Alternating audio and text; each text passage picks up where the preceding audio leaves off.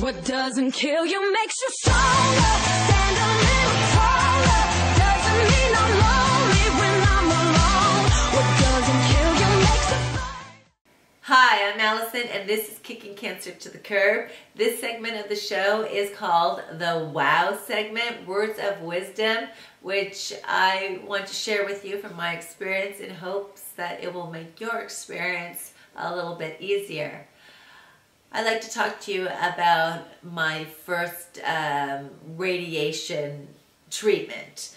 You, I, I went into, I was working with Cedar Sinai Medical Group, so I went into uh, the Samuel Oschin Center, which is directly across from Jerry's Deli um, on Beverly Drive in, or Beverly Boulevard in Los Angeles it was very strange for me to be going to get a radiation treatment because I used to go to eat after partying, partying at Jerry's Deli. So it was, it was, it was kind of weird to think of myself having so much fun and going out after, you know, clubbing or whatever, wherever I was.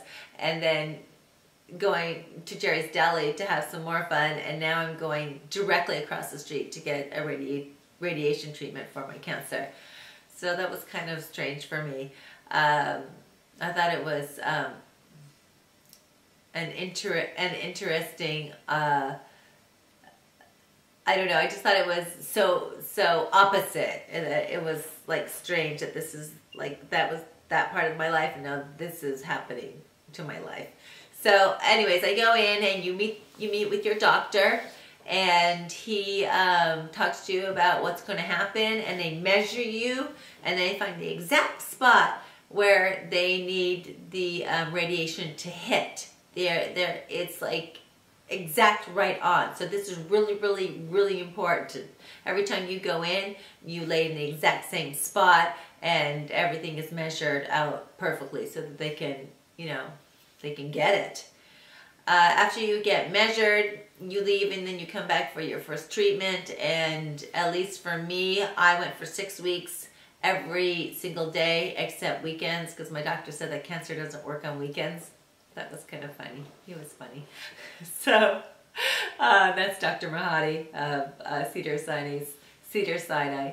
So uh, you go in and the first time I went, I changed into my gown and then I saw a lot of people just wearing their clothes. So from that time on, after my first uh, treatment, I just would keep my clothes on. And then you take off your shoes or your boots or whatever and you take off your belt and any, any jewelry. And then you can just you, you can just do your radiation treatment like that wherever it is. You just have to take your clothes down.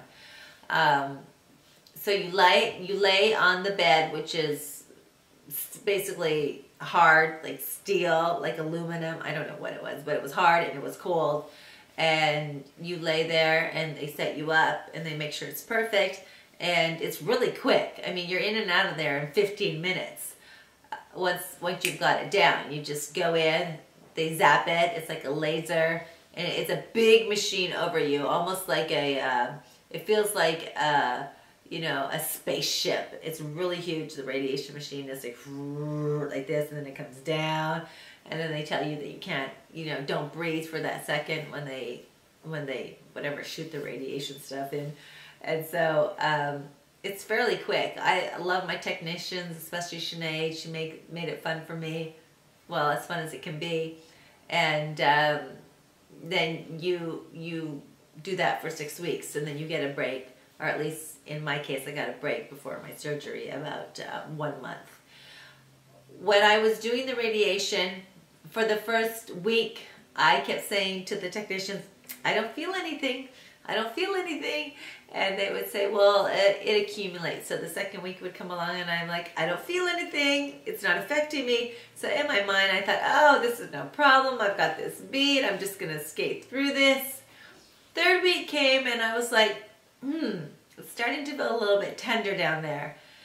And by the fourth week, it was getting worse. Fifth and sixth week, it was like so bad. And I literally, the skin had, had burnt off that area of my body. So it was completely raw. So going to the bathroom was extremely painful, extremely. And um, I would shake from the pain. And um, you know, by by the end of it, I, I was sitting on the bed and I was crying, and, and the nurse is like, "You're crying," and I'm like, "I'm in so much pain."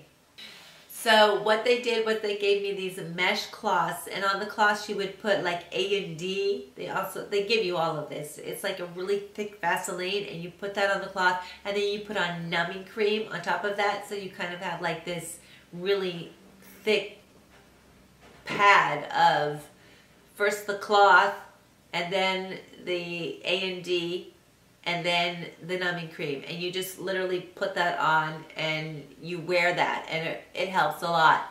The other thing that really helps a lot is uh, taking baths.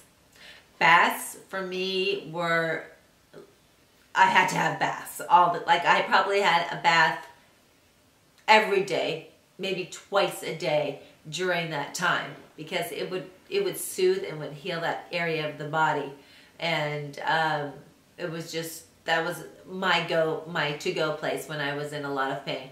And you can take Tylenol or I don't know about Advil, but for sure Tylenol.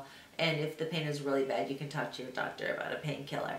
So by the time I was finished on my with my six week of radiation, I was pretty beat up, and it was it was very painful in that lower area, and um, it took about geez, at least three weeks to heal.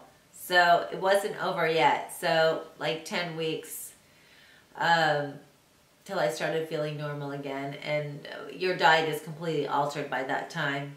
You, you just, you do not, you, you eat very, um, very you, you go by the guidelines and they give you all of those guidelines of what foods that you can eat. And sometimes you'll start to feel a metallic taste. I think almost everybody feels a metallic taste. There are also things that you can take for that. I didn't take anything for that because mine wasn't that bad but i know for some people there are some homeopathic things and you can just look that up on the internet metallic taste from radiation so the radiation part was was half okay and half not okay. in the beginning, it was going smoothly, but in the end, it was very painful. Now, that was just my experience. That does not mean it's going to be yours. Yours might be much easier. So I don't want to scare you. I just want to share with you what I went through. Yours, maybe you won't have any of those symptoms. Maybe you won't feel anything, and I hope that you don't. But if you do, just know that it's normal. I will see you on my Facebook page, Kicking Cancer to the Curb Community, and um, you can go there. You can send me any questions that you have. Um, even if you just want to talk, I'm here for you, and um, I will answer any questions about radiation or anything that you have about cancer. I'm an open book, and I'm here for you to read. So thank you, and um, best of luck.